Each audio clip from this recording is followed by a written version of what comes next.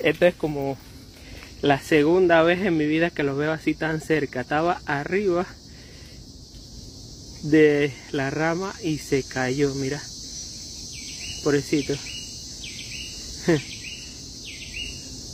¿Qué pasó, viejo? ¿Te caíste?